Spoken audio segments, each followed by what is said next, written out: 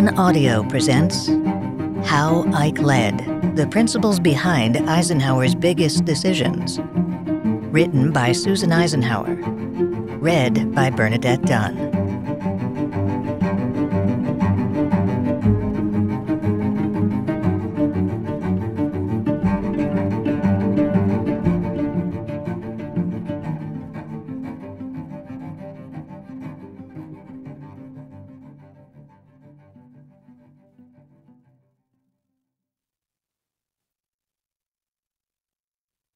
In 2020, the National Dwight D. Eisenhower Memorial was completed in the monumental core of Washington, D.C. to commemorate General and President Eisenhower's wartime and presidential leadership. I hope How Ike Led will give historical enthusiasts and those interested in strategy and leadership a new glimpse into the values, principles, and character of the man known as Ike. Hello, my name is Susan Eisenhower. I'm a longtime policy analyst and writer. It is my pleasure to introduce this book I have written about my grandfather's service to our country as seen through the eyes of scholars, associates, and those of us who knew and loved him. Bernadette Dunne, who will read you my book, brings to life my thoughts on how Ike steered us through some of the most dangerous moments of World War II and the early Cold War through a rigorous pursuit of the facts and the capacity to make tough decisions by using a cool head, an empathetic heart, and an unwavering sense of duty. At the end of this journey, stay a bit longer and hear Dwight Eisenhower give one of his greatest speeches, his farewell address on leaving the presidency. His message still resonates today. You have completed your mission with the greatest victory in the history of warfare. You have commanded with outstanding success the most powerful military force that has ever been assembled. You have met and successfully disposed of every conceivable difficulty incident to varied national interests and international political problems of unprecedented complications. You have been selfless in your actions, always sound and tolerant in your judgments, and altogether admirable in the courage and wisdom of your military decisions. You have made history, great history, for the good of all mankind, and you have stood for all we hope for and admire in an officer of the United States Army. These are my tributes, and with them I send my personal thanks. General George C. Marshall, Chief of Staff of the Army, to General Dwight D. Eisenhower on May 8, 1945. Introduction The rolling hills and the orchards of southern Pennsylvania are especially lush in late summer. Farmers' roadside stands burgeon with some of the season's most succulent picks. The still, heavy air, the rattle of cicadas, and the hum of occasional bees bring a sense of timeless tranquility. Amid the neat stone farmhouses and open fields of soybeans and corn, one must remind oneself that the Battle of Gettysburg was one of the bloodiest and most significant battles of the Civil War. It was one of the key turning points of a conflict that split our nation in two. Lee, Meade, and Pickett left their historical marks on this land. And a little less than 100 years later, my grandparents, Dwight and Mamie Eisenhower, chose this place as their home. In 1950, they bought a Civil War era farmhouse and 189 acres of land in the distant shadow of South Mountain. For a little more than 10 short years, the newly rebuilt house, along with the land Ike restored, served as the first and last private home my grandparents shared. It was the centerpiece of family life. As president and later in his retirement, Ike brought many old friends and colleagues to this farm, including British Prime Minister Winston Churchill and French President Charles de Gaulle. Sometimes he also used the farm as a place for political discussions and as a retreat for taking the measure of key people including Soviet Premier Nikita Khrushchev, Indian Prime Minister Jawaharlal Nehru, Chancellor Konrad Adenauer of Germany, and Mexican President Adolfo Lopez Mateos, to name just a few. It was here, too, that the United States and the Soviet Union stood back from an ultimatum that might have led to war. I grew up in the years of Dwight Eisenhower's presidency. As one of his four grandchildren, I was subject to an odd combination of family intimacy and life in the public spotlight. My siblings and I had Secret Service protection for those eight years, so it was clear to us, and everyone we encountered, that we were not living a conventional childhood. An incident during my middle school years was a stark reminder of this fact. My history teacher once requested that I ask my grandfather a few questions about his time in office. I felt uncomfortable about carrying these questions to Granddad, but out of respect for my teacher, I did so. One question related to the 1956 Hungarian uprising. Ike did not like mixing business and home time, or having any of his grandchildren placed in the awkward role of go between. That is why, perhaps, he replied somewhat tartly when I asked him why he hadn't intervened. What, and risk starting World War III? In a flash, I understood the gravity of the decisions my grandfather had had to make. Yet it was not until my grandparents had died that I really began to think of them as public figures, and when I did, I could see clearly that knowing that side of them was critical for my own appreciation of them as people, as well as for my understanding of the history of World War II and the post war period. In 1996, I wrote a family biography that was centered on my grandmother Mamie and her marriage to Ike. Writing Mrs. Ike, Memories and Reflections on the Life of Mamie Eisenhower was an adventure for me. I learned about my grandparents' lives before I knew them, through their stories as they recounted them and the observations of others who knew them. And just as important, I gained a sense of who they were as they emerged as public figures. But in my professional career as a Washington policy strategist, it is my grandfather who has come to mind most often. It has been nearly impossible for me to undertake any topic that has not been touched by his legacy in some way. For that reason, I started to read about his career and the times in which he lived, perhaps somewhat defensively at first, in high school and college, my siblings and I were accustomed to years of professorial swipes and sometimes downright rude lectures on Eisenhower's alleged shortcomings. What occurred over time was not just the rise of Eisenhower's reputation, but for me, the remarkable process of getting to know the other side of this someone I loved.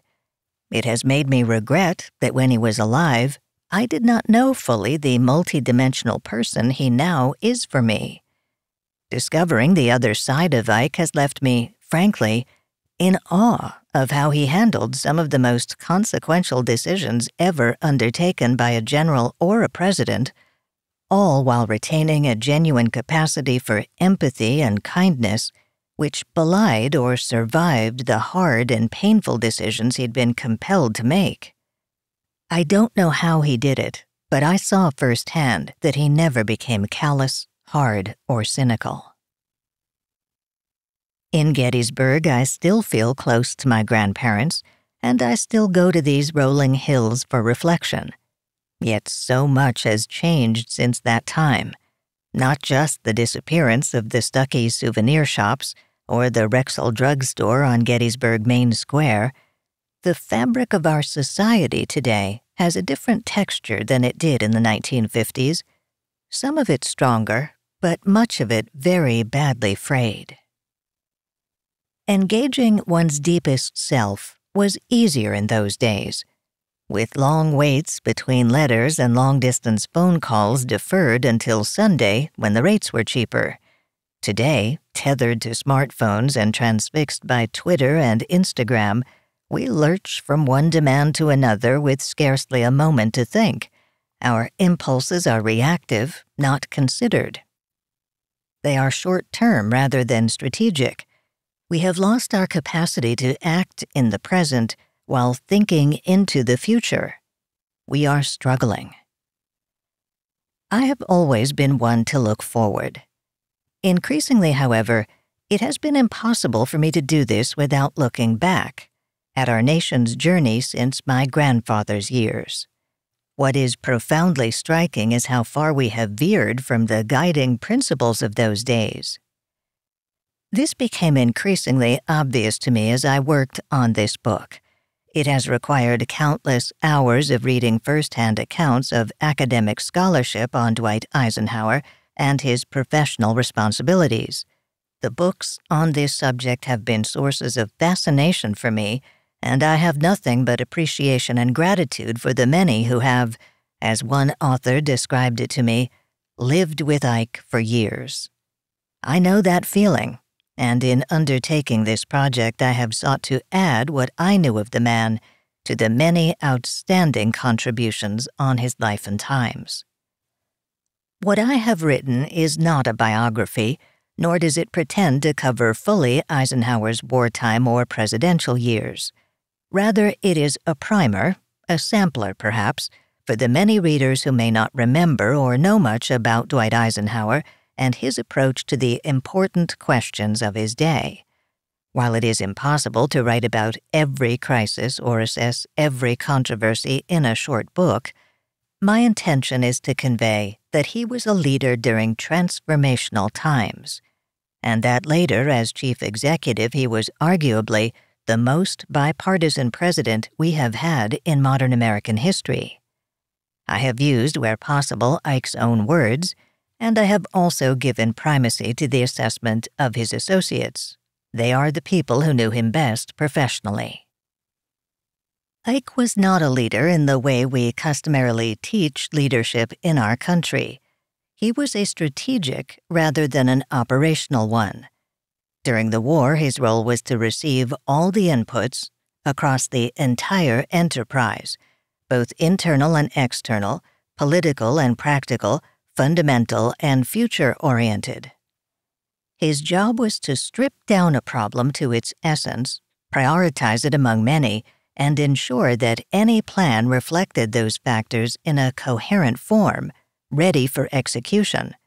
His decisions were undertaken with the entire enterprise in mind. Eisenhower had the 30,000 foot responsibilities. In fact, it is noteworthy that his job description, when he was given the supreme command of Operation Overlord, was in essence to invade the mainland of Europe and bring about the destruction of Nazi forces. No other leadership job in the Western Alliance looked anything like his, and the opinion that truly mattered rested with his superior's assessment of his performance. Ike, in his own words, described what was expected of him. A supreme commander in a situation such as faced by us in Europe cannot ordinarily give day to day and hour by hour supervision to any portion of the field.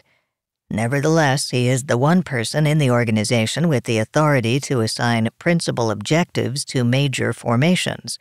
He is also the only one who has under his hand the power to allot strength to the various major commands in accordance with their missions, to arrange for the distribution of incoming supply, and to direct the operations of the entire air forces in support of any portion of the line. Eisenhower's talent for envisioning a whole, especially in the context of the long game, may explain why he did not necessarily need combat experience to be a brilliant strategic leader. It is also why he never lost the confidence of his superiors during the conduct of World War II even if his subordinates groused about some of his decisions, many of which, not surprisingly, related to resource allocation and personal authority. Eisenhower's subordinates simply did not have the same considerations he did. Ike had to worry about the direction of the war, the assets he had at his disposal, the liabilities he had to mitigate, and a timeline that had to be met. He had finite human and material resources. He also had to scale up a war effort that, for the American cohort alone, began as a small group in 1942 and culminated in a force of more than 3 million people under his command only two years later. The performance of key subordinates was his responsibility at a time of nationalist tensions within the wartime alliance. And he had to factor in the worthiness of his military options and view them in the context of the political, social, or resource priorities made clear to him by Franklin Roosevelt, Winston Churchill, and the Combined Chiefs of Staff, COSAC. He also had to be adept enough to sense the moment when the plan had to change. Again, as president, Eisenhower was the nation's chief strategic leader. Influenced by his success during the war, he developed a process, a staff system that would assure the collection of all possible facts and facets of any issue, an organization that would also serve to coordinate the implementation of the president's own direction. Eisenhower was deeply troubled when his successors, starting with John F. Kennedy, dismantled it. Ike feared that the nation's chief executive, whose job it is to connect the dots, would be so overwhelmed by diverse and second order inputs that he would resort to governing like an operational leader rather than a strategic one. Eisenhower predicted that without a system for unbiased analysis and policy integration, avoidable mistakes would be inevitable. His views, many historians say, have been vindicated over the years, starting with the Bay of Pigs fiasco, a failed attempt by the Kennedy White House to invade Cuba and initiate an uprising. It was impacted significantly by JFK's last minute decision to cancel air support and relocate the landing beaches. Even as a young man, Eisenhower had a strong preference for big picture thinking in warfare and beyond. Before graduation from West Point, Ike's class of 1915 participated in a staff ride of the Gettysburg battlefield. Each student was instructed to memorize the names of every brigadier in the opposing armies and know exactly where his unit was stationed at every hour during the three days of the battle, he wrote. Little attempt was made to explain the meaning of the battle, why it came about, what the commanders hoped to accomplish, and the reason why Lee invaded the North the second time. If this was military history, I wanted no part of it. Later, one of his mentors, General Fox Conner, Chief of Operations during World War I, recommended a reading list in the hope that it would change his protege's mind about the usefulness of studying military history. We hope you enjoyed this preview. To continue listening to this audiobook on Google Play Books, use the link in the video description.